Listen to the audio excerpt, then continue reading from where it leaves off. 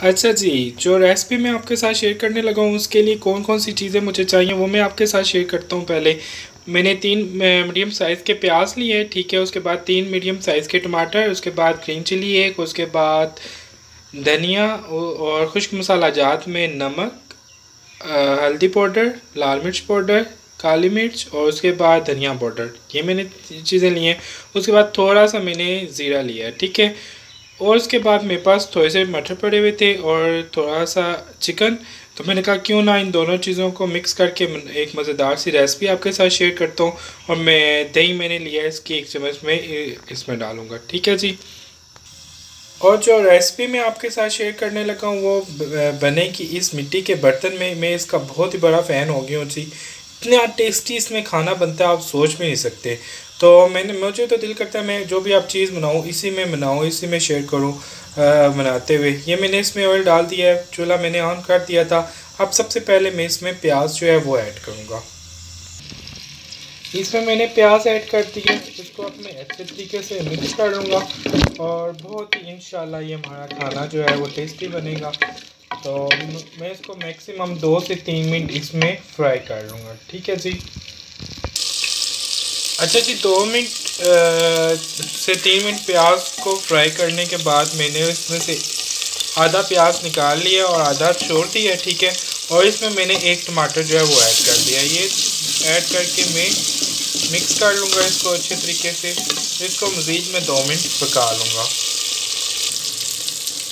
और मैं इसमें ग्रीन चिली जो है वो भी ऐड कर दूँगा, आधी। ग्रीन चिली ऐड करने के बाद इसको मैं अगेन मिक्स कर लूँगा। और इसको मज़ीद एक मिनट और फ्री कर दूँगा पकने के लिए कि अच्छे तरीके से ये मसाला जो हमारा वो फ्राई हो जाए। अच्छा जी, इसको एक मिनट और पकाने के बाद मैंने इसमें चिकन जो है वो ऐड कर दी है। तो इसको मैं अच्छे तरीके से मिक्स कर लूँगा और इसको पाँच से सात मिनट इस, इसमें पका लूँगा। इसको पाँच से सात मिनट पकाने के बाद अब मैं इसमें लहसुन और अदरक का पेस्ट जो है वो ऐड कर दूँगा।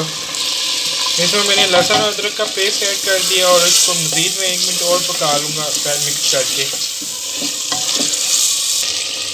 अच्छा इसको मज़ीद एक मिनट पकाने के बाद फिर मैं इसमें ये मटर जो है वो ऐड कर दूँगा। ठीक है जी? और इसको मैं मिक्स कर लूँगा।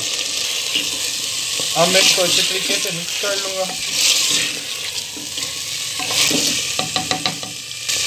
और मैं इसको अच्छे तरीके से दो मिनट से तीन मिनट इसको और बोल लूँगा कि ये अच्छे तरीके से हमारा जो चिकन और मटर है, इनका, ये अच्छे तरीके से पक बन जाए और इनका टेस्ट एक दूसरे में अच्छे तरीके से शामिल हो सके। अब मैं इसमें कुछ मसाला जार जो है वो ऐड कर दूँगा।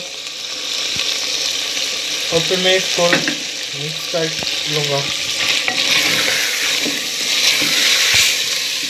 अच्छे तरीके अच्छा जी ये जो टमाटर मैंने आपको बताया था कि हाँ एक टमाटर मैंने इसमें ऐड किया और बाकी जो मैंने उस टाइम ऐड नहीं किए थे, इस टाइम में दो जो टमाटर मेरे बचते थे, वो मैंने इसमें ऐड कर दिया और इसको अच्छे तरीके से मिक्स कर दिया।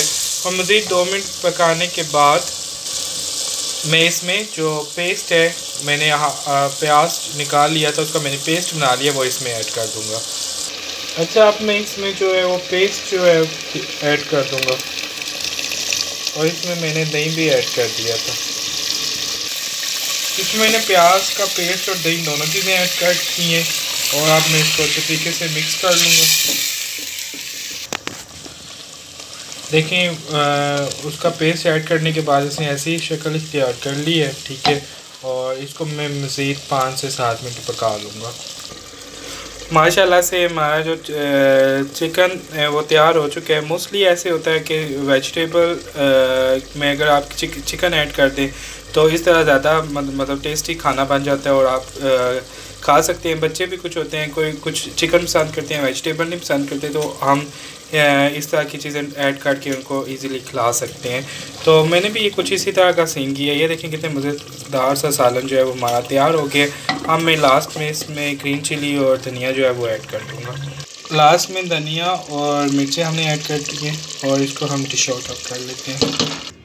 अब मैंने इसको डिश आउट कर लिया। माशाल्लाह से हमारी बहुत ही ज़बरदार मज़ेदार सी रेसिपी जो है वो तैयार हुई है। ठीक है जी, उम्मीद है कि आपको पसंद आई हो कि अगर इसको आपने लाइक किया है तो काइंडली इसको शेयर भी कीजिएगा सब्सक्राइब भी कीजिएगा। मिलते हैं अगली एक अच्छी वीडियो के साथ। तब तक के लिए अल्लाह हाफिज़।